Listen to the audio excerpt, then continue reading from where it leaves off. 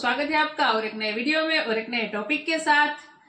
Azerbaijan रोक सको तो रोक लो, अब अर्मेनिया जाएगी मिसाइल, और दो धमकी, इंडिया, अर्मेनिया पेरेलाई मिसाइल। ये तो दोस्त मेरे को भी मालूम नहीं है भाई न्यूज़ देखना बहुत ज़रूरी है, और ख़ास करके जिस चैनल से लिए गया जो वीडियो है उस चैनल पे भी आप जाके सपोर्ट कर दीजिएगा, क्योंकि ऐसी जो न्यूज़ है, वहाँ से भी मिलती रहेगी। और हमारे साथ जुड़े हो या नहीं जुड़े हो तो जुड़ जाइए।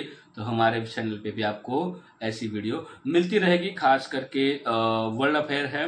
उसके अलावा जो न्यूज़ डेली मिलते रहते उस रिलेटेड हमारी चैनल है। जब जो मिस्ट्री जो होती है पूरी, उसको हम फाइंड करके आपके समक्ष लाते हैं। इसलिए चैनल का नाम रखा गया है। मिस्ट्री पॉइंट है तो चलिए दोस्तों पहले वीडियो स्टार्ट करते हैं।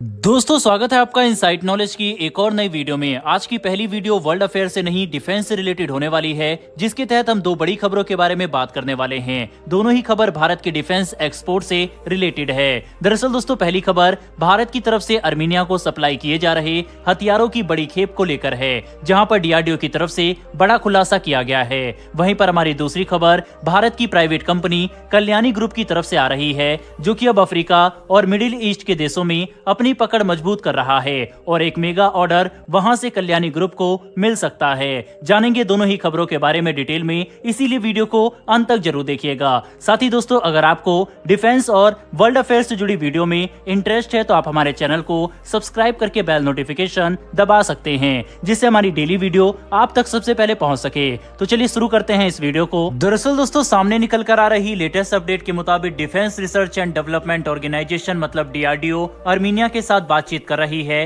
ताकि हम अपने मिसाइल सिस्टम अर्मीनिया को सप्लाई कर सके। अभी तक निकल कर सामने आई रिपोर्ट में इस बात को तो कंफर्म नहीं किया गया है कि यहाँ पर किस मिसाइल सिस्टम की बात की जा रही है।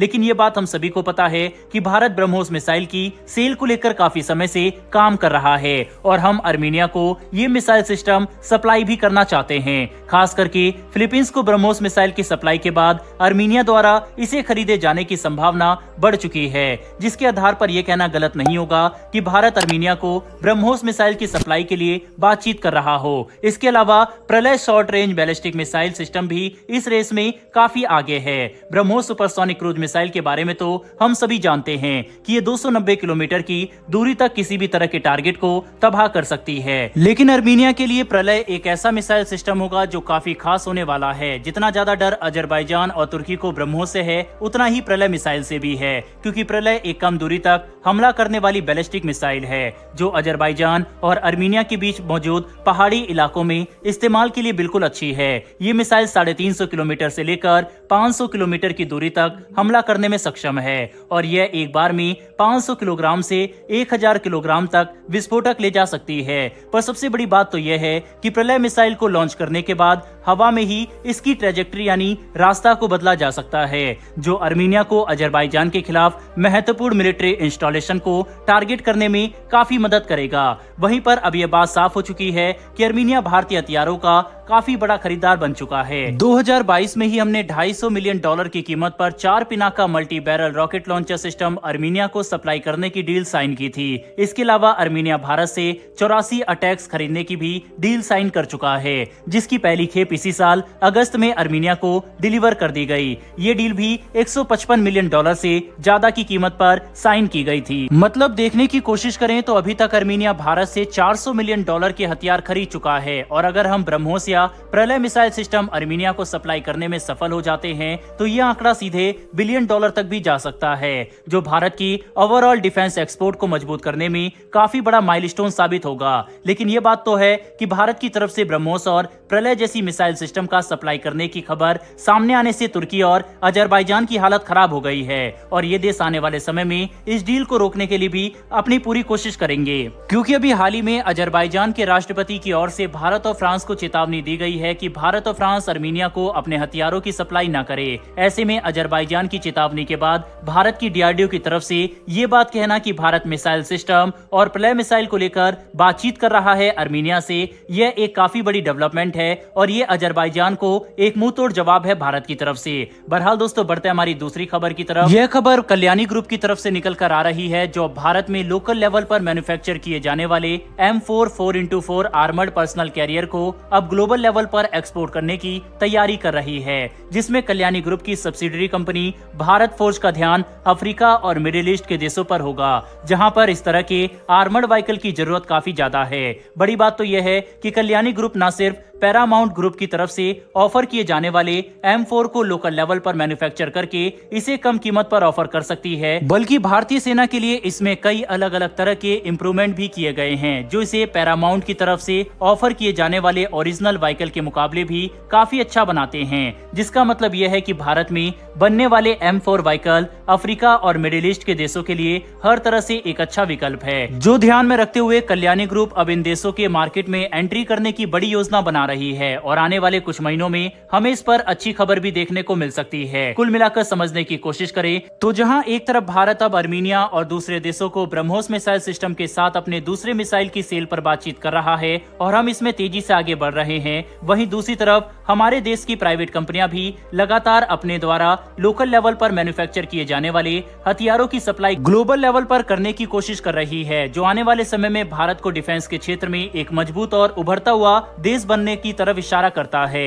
बहरहाल दोस्तों, इस वीडियो में इतना ही, लेकिन डिफेंस एक्सपोर्ट के क्षेत्र से आ रही इन खबर के लिए और भारत के वैज्ञानिकों के लिए कमेंट बॉक्स में एक जय हिंद लिखना ना भूलिएगा। साथ ही डिफेंस और वर्ल्ड अफेयर से जुड़ी ऐसी डेली वीडियो के लिए नीचे दिए गए सब्सक्राइब बटन को प्रेस कर बेल आइकन को दबा लें, फिर मिलेंगे डिफेंस और वर्ल्ड अफेयर से जुड़ी ऐसी एक नई वीडियो के साथ धन्यवाद जय हिंद। तो भाई वीडियो तो बहुत ही बढ़िया थी। उसके साथ साथ न्यूज़ भी बहुत ही बढ़िया थी। खास करके हमारे जो डिफेंस सेक्टर है उसमें डेली कुछ ना कुछ नया आप सुन रहे तो अच्छी बात है। अब सब कुछ मेड इन इंडिया हो रहा है उससे बाहर की कंट्री के साथ यदि डिले होगी तो भारत वैसे इकोनॉमिकली तो स्ट्रांग बन रहा है। उसके साथ साथ डिफेंस सेक्टर में भी भारत स्ट्रांग बनता हुआ दिख रहा है। और यदि ये सारी जो मैन्युफैक्चरिंग मेड इन इंडिया रहेगी तो बेनिफिट तो इंडिया को है वो तो क्लियर एंड कट है क्लियर ही दिखेगा। ताकि कभी भी कोई भी युद्ध होता है तो उसके लिए हमें डिपेंड कभी दूसरे देश पे ना रहना हम्म। पड़े दूसरे देश के साथ हमें हाथ हाथ फैलाना ना हाँ। पड़े। तो ये अच्छी बात है। और अजरबैजान और उसके जो दूसरा देश है अर्मेनिया तो दोनों देश के तो जैसे भारत पाकिस्तान का है हाँ। वैसे उन दोनों देशों की दुश्मनी है। तो इसीलिए ये लोग जो है भारत को धमकी भी देते हैं हाँ, भारत को भारत और फ्रांस दोनों को अजरबैजान ने मतलब धमकी दी थी कि आप अर्मेनिया को वेपन्स ना दे तो ये तो देखो भाई फ्रांस हो भारत हो आप अभी किसी देश को धमकी नहीं दे सकते। हाँ। ये अब ये पुराना भारत नहीं है जो आप धमकी दोगे फिर यूएनसी में जाएँगे बात करेंगे बातें चलती रहेगी, कुछ महीनों, कुछ सालों तक। ये नहीं। अब जो, अब ये नया भारत तुरंत डिसीज़न लेता है, तुरंत आंसर भी आपको देता है। तो दोस्तों, आपको इस वीडियो के बारे में जो भी आपकी राय है हमारे डिफेंस सेक्टर के लिए, ज़रूर से कमेंट में लिखना। और आप यदि इंडिया से बिलोंग करते हो और हमारे देश को इतना प्यार करते हो तो कमेंट में जय हिंद ज़रूर लिख देना, ताकि हमें भी खुशी हो और हमें भी लगे कि वह हमारी यूट्यूब जो फैमिलीज़ है, वो आगे बढ़ रही है। तो दोस्तों, आपकी राय ज़रूर देना। फ़िलहाल दोस्तों, हम चाहते हैं इस वीडियो से आपसे फ़िलहाल विदाई ले और मिले और एक नए वीडियो में। और नए एक टॉपिक के साथ खास करके आपके साथ उसके पहले चैनल पे पहली बार आए और सब्सक्राइब ना किया हो तो एक सब्सक्राइब का बटन होगा उसको दबा दीजिए उसके पास एक बेल आइकन होगा घंटे का निशान होगा उसको भी साथ में दबा दीजिए ताकि आपको हमारे हर एक वीडियो की जो नोटिफिकेशन मिले सबसे पहले जैसे हम अपलोड करें। तो फ़िलहाल हम विदाई लेते हैं इस वीडियो से। मिलते हैं। और एक नए वीडियो में आपके साथ। टिल देन जय हिंद जय भारत।